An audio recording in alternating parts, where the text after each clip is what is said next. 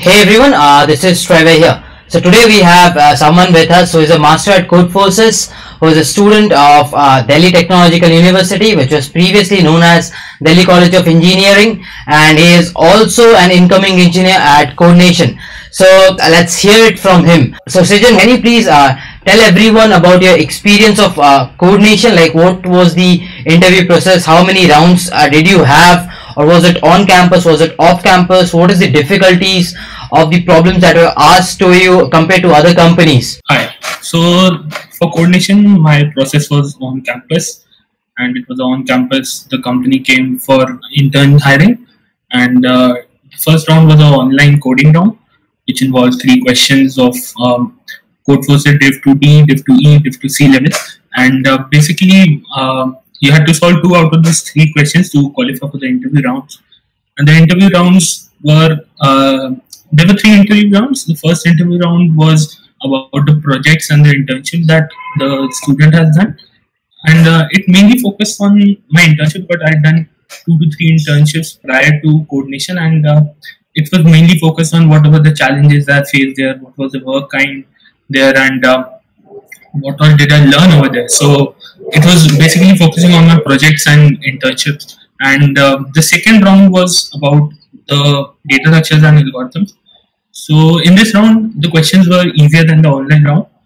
Uh, they were pretty standard questions, and uh, uh one or two questions were um, something which you can find on Codeforces as well. So uh, it was uh, pretty decent if you are good with problem solving. It won't be much of a difficulty for you to tackle those problems. They were pretty standard. And uh, the third round was more about system design and abstract problem solving. So I think if you have gone through the videos of uh, Gaurav Sen or Rachit then I believe that you would be good with uh, system design and uh, that is enough to tackle that round. So I think the main focus for getting into CodeNation was clearing that online round, which involved the most difficult questions. So I believe if someone is good in competitive programming, then that should not be a difficulty for them. Okay, so Srijan like how many people did appear from uh, DTU for this coding round, and at the end, how many did back the offer? Can you give us some insights? It was, yeah, it was it was open for I guess all the branches related to computers. So approximately 500 to 600 students did appear since it was uh, it was a uh, first week company and um, there were four offers that were given. So that, that's the ratio. Okay, so so I guess you went for a two months internship, and after that you are converted to like you are offered an full time offer from the side, right? Yeah. So exactly. can uh, can you please uh, share something like how difficult was the internship? Like like a lot of people have this doubt that if they clear the internship interview and will they be able to perform in the internship or not so can you please explain us like how difficult is it for a competitive programmer to excel in this uh, software development field? Yeah it was first of all pretty much different than what competitive programmers are used to working with. So you had to work with real life problems which is completely opposite to what you do in competitive programming. So i believe that was a challenge over there. But uh, having done some previous internships I did not feel that it was very much different, but the kind of work that they were doing, the challenging problems uh, that were thrown to the interns, and they they were completely being independent, just a mentor for their support. So I think it was it was a difficult process to tackle those problems, but I believe in the end, um, if you are good with problem solving, those those skills did help me in tackling that internship. So my project was basically focused on compiler design and uh, related stuff. So um, I think it was a bit of uh, thinking like how do I implement this efficiently. So there I feel algorithms which were um, related to competitive programming like graph algorithm, handling recursion, etc. So these came in to help, and uh, I think that this helped me uh, get that offer. Okay. So uh, a myth uh, goes around in India that like competitive programmers can only crack interviews. Like wh- what insights will you give into this? Like is it uh, because you are from such a college that every company visits your college? So like is it that that a guy who hasn't done competitive programming can also crack Amazon, Microsoft, or other companies? Yeah, I don't think that competitive programming is a must thing. Uh, thing a must thing skill to have for a interview interview, but I do believe that competitive programming helps you crack that online round. So if you see most of the interviews focus on classical problems and the traditional problems like uh, merging intervals or all those standard problems that are there on Geeks for Geeks LeetCode InterviewBit. But to reach that round, you need to clear that online round hurdle. So that hurdle, I believe that competitive programming gives you an edge because you have that speed to solve those problems fast. So believe competitive programming helps us in that.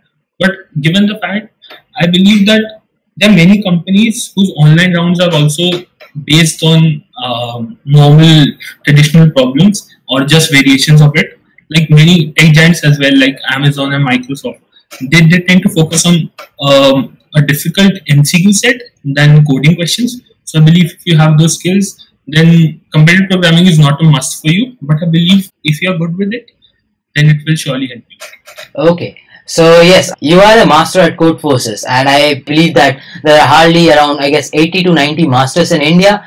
So like, how tough it is to reach a master level at Codeforces? Can you give some insights into it? Like, what should you need? Because I've seen your graph, and you have hardly taken around very less contests to get into a master level. So please give us some insights, like how to get in, how to become a master. So for me, um, I believe I did not participate in a lot of live contests but um, at the same time i was practicing the problem set. I was practicing uh, topic wise. So i believe that that did help me. But after doing it for a year or so i was stuck at a rating of around 1800 or 1750 and i was stuck there for around six to seven months. So i believe that uh, that did demotivate me a bit. So i did not uh, take up live contests after it which which I believe you should not do, and uh, you should keep uh, participating. But I did participate virtually a lot in those six months. I gave approximately every day or two. I used to participate in a virtual contest, and because I had figured out that the thing that was stopping me from partic- uh, from doing well in those contests was that I was struggling a bit with my speed. My accuracy was good, and uh, I was able to solve those problems after the contest if I spent time on it but I believe that I need to develop that speed, and for that speed, I believe that practicing in a right way is important. So you don't need to practice topic wise to increase speed. You need you need to have a, something of a speed run or something which you solve multiple problems in an hour or something. And uh, for that, I believe virtual contest does help you a lot because you don't have that burden of that my rating will go down or something, and you can uh, peacefully participate in a contest and uh, the environment is pretty much the same in a virtual contest. So it did help me. The virtual contest did help me improve my speed and accuracy was uh, also increased. Okay. Now, since I've known you closely from many years, like for the people who do not know, I've been knowing Srijan from around I guess three years. Yes. Uh, yeah. Yeah. So we know each other from three years. So I've seen you closely, and I feel that you're really good at dynamic programming. Now, this is the topic I think which 90% of the world suffers at dynamic programming. So like, uh, can you give some tips and tricks like, should we follow iterative DP? Should we do recursive DP? Or from where should you learn about dynamic programming?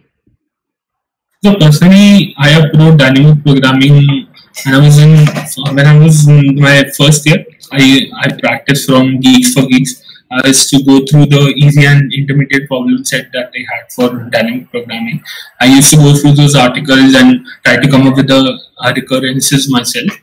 But after a time, I believe that it was not helping me solve a newer problem, which is exactly the case with dynamic programming. You you see a problem, and the next problem is totally different. You need to come up with a different recurrence, and you need to figure out the sub problems. So I had to work a bit on my recursion skills because uh, to improve your dynamic programming, you need to be good at recursion. You need to think recursively.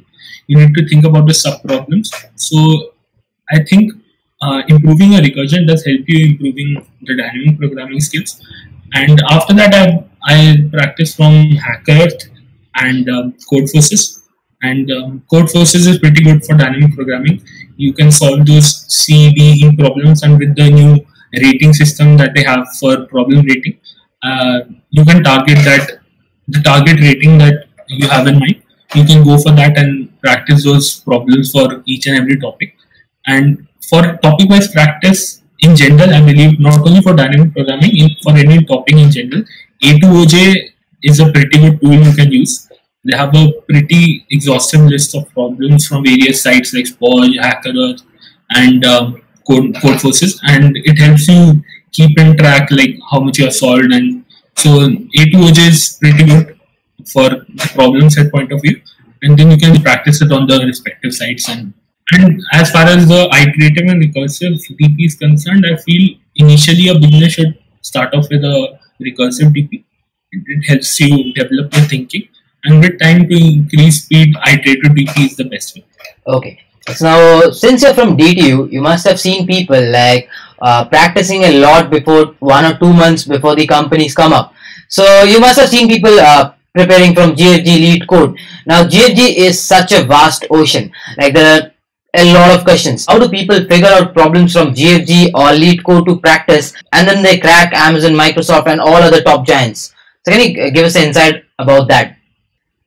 I believe for Geeks for Geeks, uh, you can just go to the practice website and then you can look at the tracks that they have for problems. So they are, the, the problems are in company wise, they can be sorted by difficulty order. So it's a pretty good list over there. So I don't believe that you can target to solve the whole article list and you can go through every each and every article because it is practically impossible. So I believe that if you do the practice with practice tracks like the placement tracks or the must must do 300 problems of Amazon or something like that. It gets you used to all the classical problems that are asked in an interview. So just just look out for uh, those those links and those uh, questions that are there on those tracks, and you will be good to.